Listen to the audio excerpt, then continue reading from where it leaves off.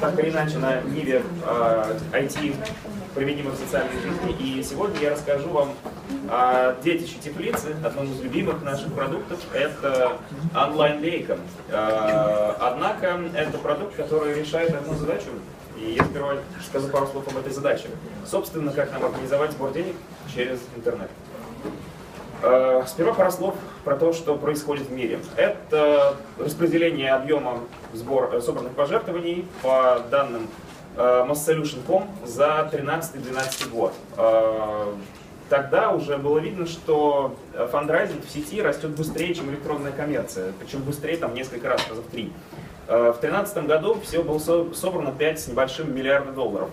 Как по-вашему, сколько в 2015 году? Почти в 7 раз больше. Итак, как именно пожертвование должно э, происходить для того, чтобы быть эффективным? То есть, э, какое, э, как мы должны построить э, процесс пожертвования на нашем сайте для того, чтобы доноры действительно приходили и с очень высокой вероятностью конвертировались в пожертвования? Э, вот примерно так. Это довольно сложная диаграмма, и э, я надеюсь, что вы заострите на ней внимание разве что после, но дальше мы подробно ее разберем. Как, в принципе, мы можем организовать пожертвование через интернет?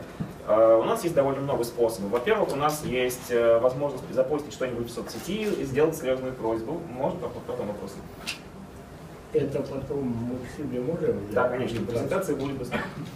Э, итак, мы можем запустить просьбу в соцсети, однако с некоторых пор эта работа перестала, и в общем правильно, потому что очень много мошенников, и до сих пор они собирают достаточно много денег через вот такие вот перепосты.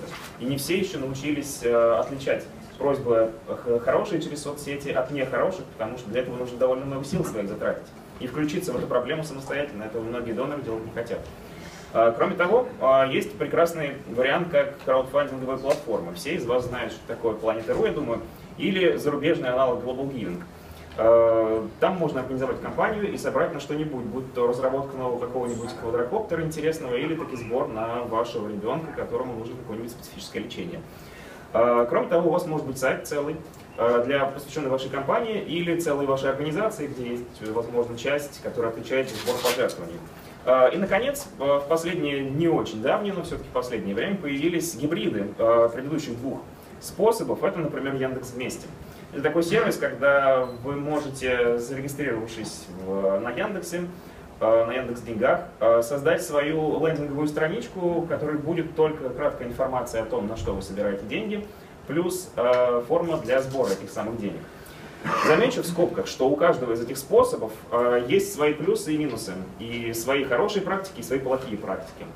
Э, и здесь я хотел бы э, заострить внимание на именно сайте компании, просто потому что это наиболее универсальный способ для того, чтобы обслуживать и ваши растущие потребности как организации, и одновременно обслуживать и способы, и случаи, когда потребности ваши не так высоки, э, когда вы, например, собираете только на одну компанию.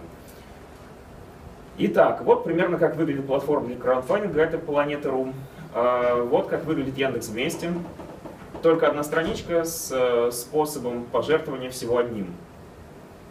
А, итак, у нас есть лучшие и худшие практики на каждом. А, и лейка была создана нами в теплице а, в качестве аккумулятора хороших практик и для того, чтобы изолировать клиентов от э, плохих практик. То есть э, это изначально был продукт, который должен был решать все задачи разом. Амбициозная была задача. Ну и есть. Итак, что такое лейка? А, в первую очередь важно понимать, что это как бы не что-то существующее само по себе, это модуль для вашего сайта на платформе WordPress. То есть, э, если у вас нет сайта или сайт не на WordPress, тогда лейка для вас, ну, все равно на самом деле подойдет, но я об этом скажу позже отдельно. А, что лейка делает? В первую очередь она автоматизирует и облегчает интеграцию с платежной системой. Деньги по факту собираете не вы. За вас это делают, вот, собственно, транзакции денежные. Э, переводит платежная система. Их довольно много. Яндекс Деньги, РБК Мани, все электронные валюты практически, которые вы знаете, это платежная система. Э, там, под капотом. А, и Лейка позволяет организовывать фандрайзинг в любом объеме. То есть с помощью Лейки вы можете превратить свой сайт в такую миниатюрную Планету.ру. Там может быть не одна кампания, а целые там их семейства. И мы позже увидим на примерах, как это выглядит.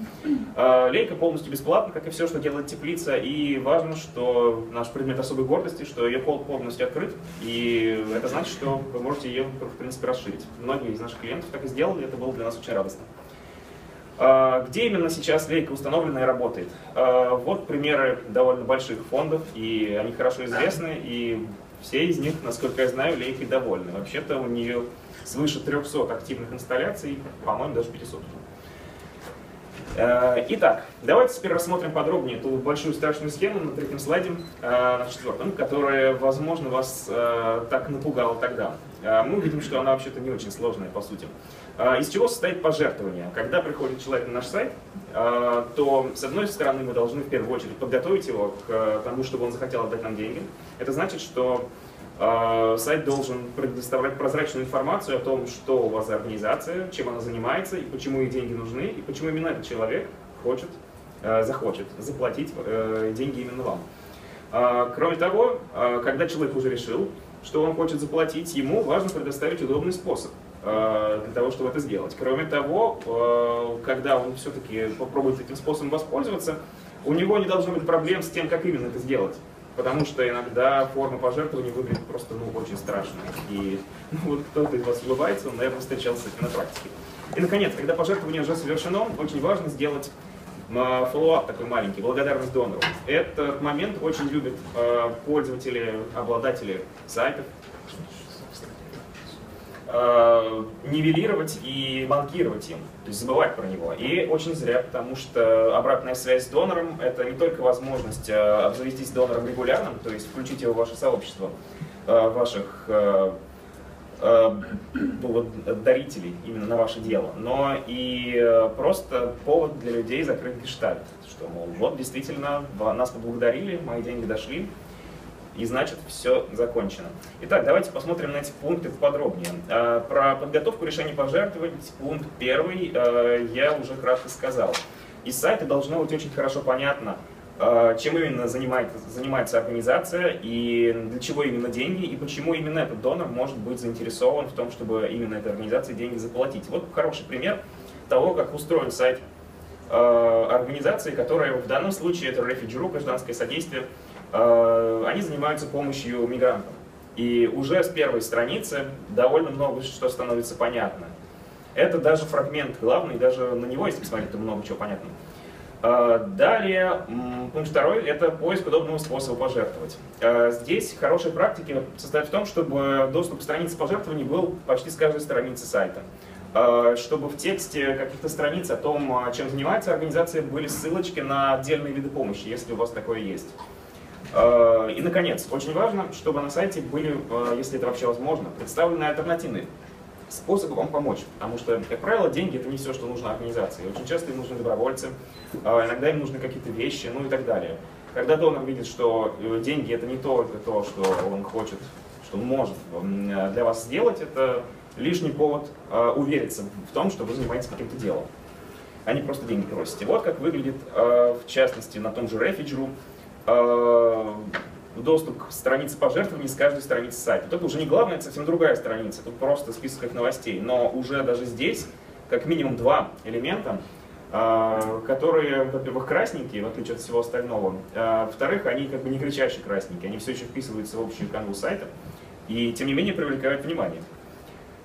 Вот другой пример, еще один сайт с э, инсталляцией Лейкин, это Милосердие.ру, фонд Милосердия. Э, здесь аж три элемента, которые так или иначе ведут на раздел пожертвований. У них очень много компаний на этом сайте, мы чуть попозже это еще увидим. Э, так что вот это как раз миниатюрная планета. Но даже здесь они очень много подходят к тому, чтобы доноров цеплять на каждой странице, даже той, которая априори к пожертвованию не относится. Вот, например, это тоже список новостей.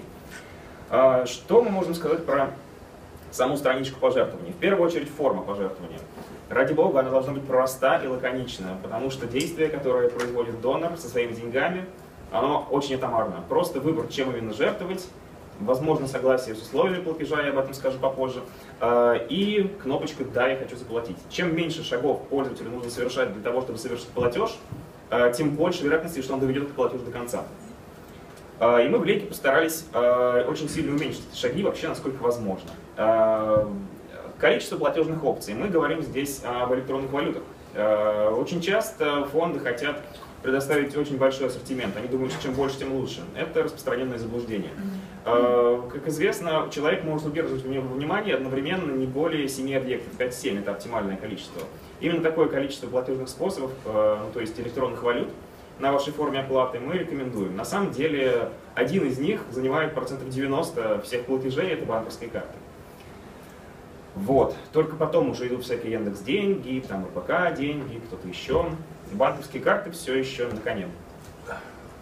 А, далее. Форма хорошо, а, что если напоминает, а, на что именно будет расходоваться та или иная сумма.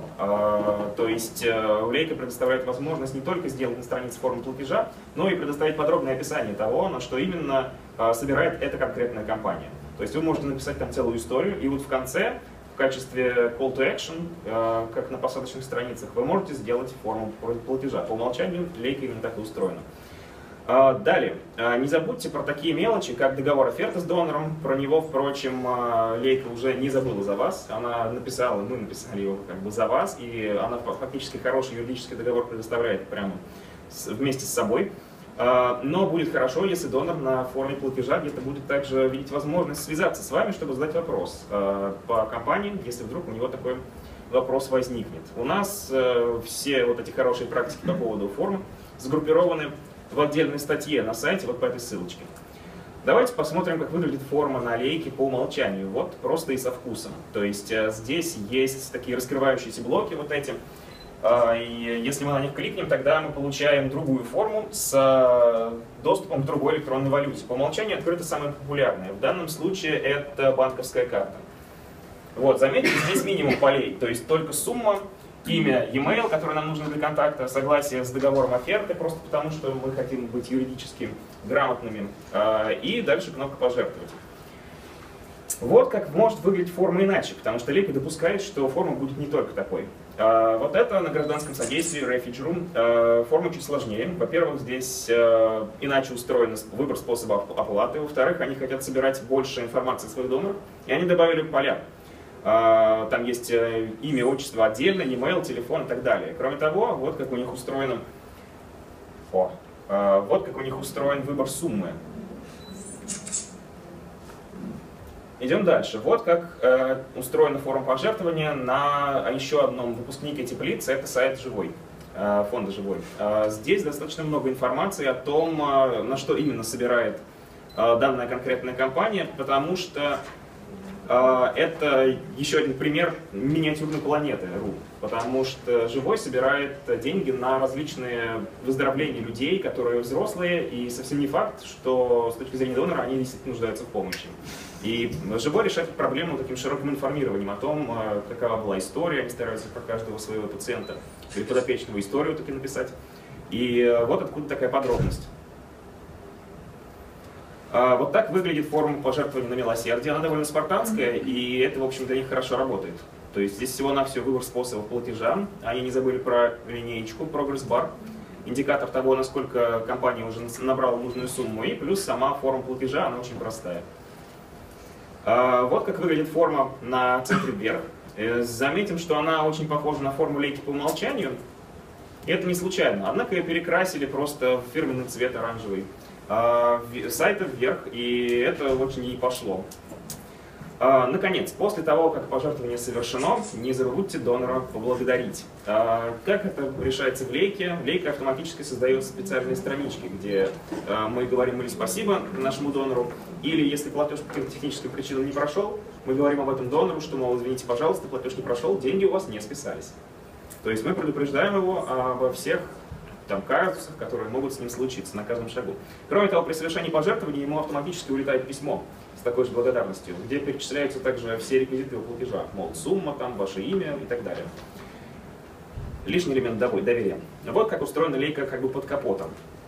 э, очень важно, и мы старались э, сделать ее не просто средством для организации форм, но с другой стороны средством для учета ваших компаний, платежей и так далее. Вот пример, по-моему, с милосердия. Как могут быть устроены компании, учет компаний, там, где их много, и там, где очень важно, что у каждой есть целевая сумма.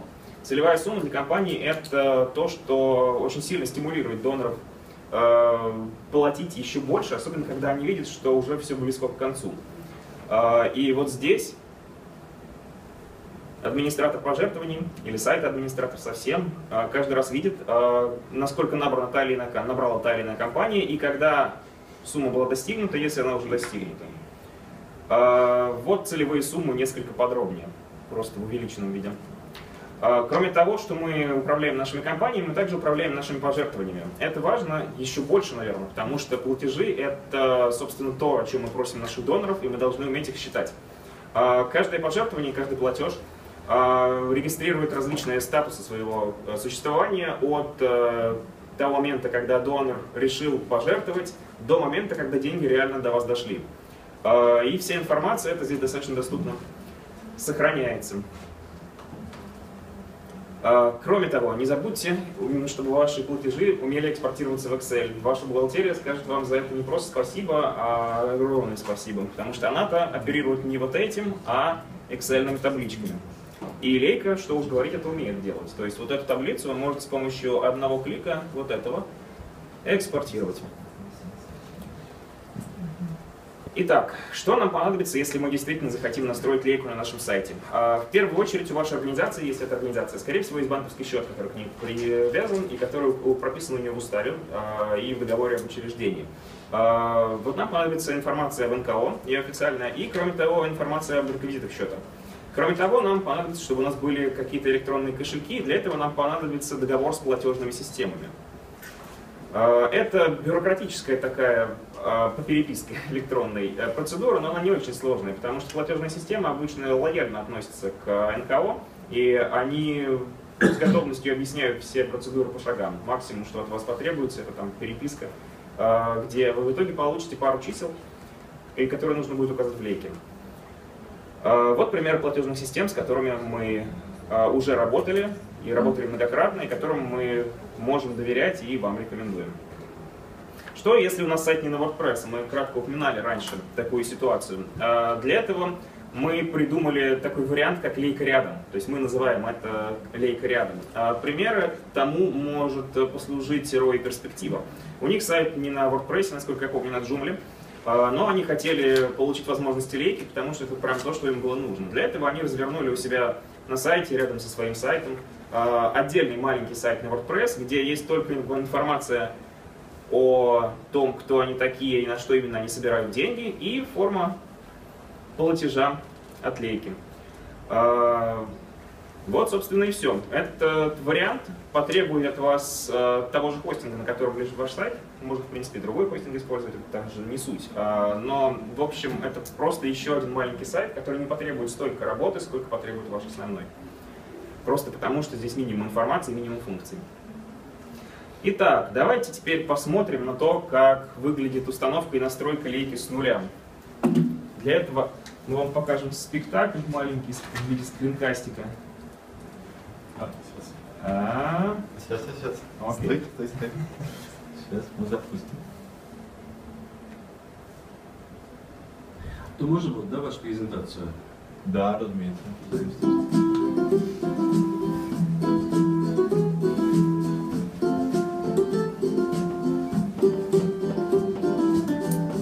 плагин для WordPress. Вот здесь мы ее активируем в качестве плагина. После этого мы получаем возможность использовать все, что она умеет. Вот так выглядит лейка, только что установленная, еще не настроенная. Здесь мы заполняем все данные нашей НКО, а также банковские реквизиты.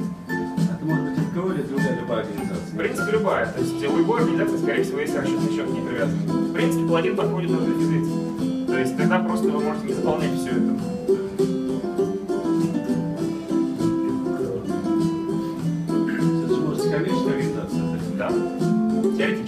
Но мы как бы не очень их поддерживаем смысле, но технически они могут использовать. Вот здесь мы настраиваем платежные способы, которые э, будут использоваться, чтобы у нас собирались деньги. Мы можем регулировать их порядок, и для каждого мы можем настроить какие-то параметры э, для того, чтобы платежная система знала, что именно с ней мы работаем.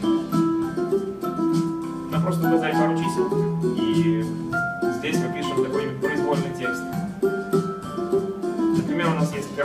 смс, мы собираем деньги через него, и вот тогда нам поможет вот этот специальный платежный способ, который не с платежной системой работает, а просто позволяет нам какой-нибудь текст указать.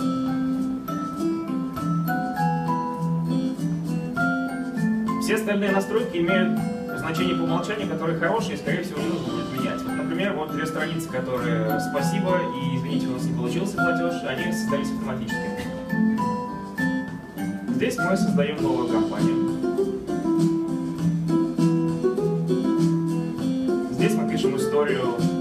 Том, почему нам платить важно, нужно, и кто хочет это уже прямо сейчас. Это краткое изложение этой истории, аннотация релиз. И дальше нам осталось только указать целевую сумму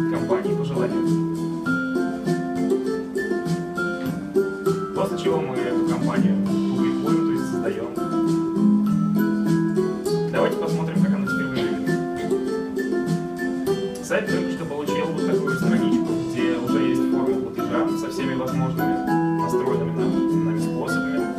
И мы можем совершить тестовый платеж прямо сейчас. Вот так выглядит договор оферты для донора.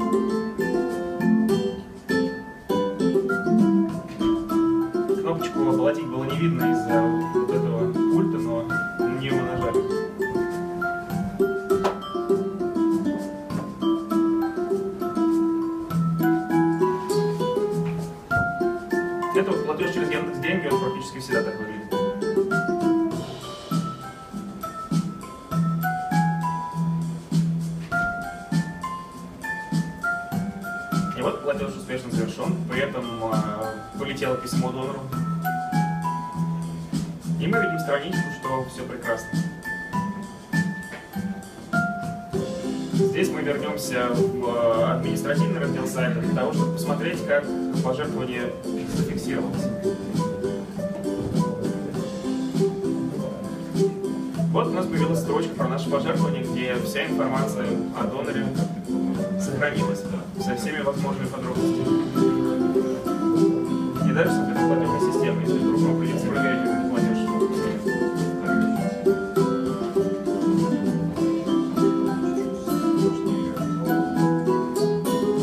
Заметьте, поменялся прогресс-бар, то есть э, значок-индикатор э, достижения целевой суммы. Его видно также и на форме пожертвования, для того, чтобы наши доноры про это не забывали.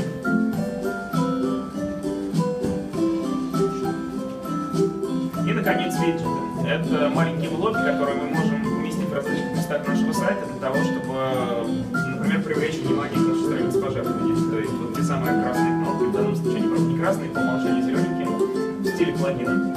А, Но эти виджеты умеют не только вести на страницу компании, они умеют еще, например,